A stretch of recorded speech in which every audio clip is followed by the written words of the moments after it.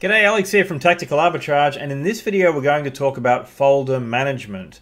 Now essentially what I mean by that is creating, deleting, and renaming folders to best suit your own folder organizational methods. So you'll notice that for the main folders, main folder search, reverse, and wholesale, you can only create a new folder from here. We're not going to allow you to uh, delete these main folders or rename these main folders. They're set. So from here though, I'm going to create a new folder.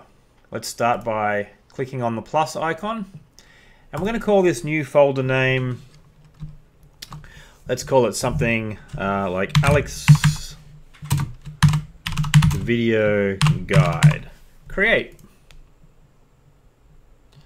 So when I go to the drop down menu here, I'll see it's deposited Alex Video Guide at the bottom of the list. Now a simple page refresh is going to alphabetize that for the next time you visit. And it is now up the top. I'm going to pop on in there and I'm going to see that there's no products in there at the moment. So there's a couple of things that I might want to do at this point. I've got rename.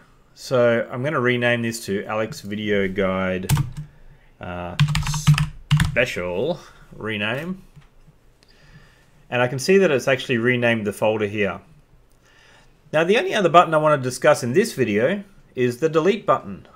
I now decide that I no longer need the Alex Video Guide Special. Click on that. It's going to ask me if I'm sure if I want to do that and one of the main reasons it asks you if you're sure is some of your folders may have quite a few products in there and you don't want to accidentally hit this little red X and, uh, and lose everything. So we're going to click on the delete though and the folder disappears and we are now returned back to the main search folder. That's all there is to those three little buttons up the top and the folder management video and I'm going to see you in the next video. Cheers!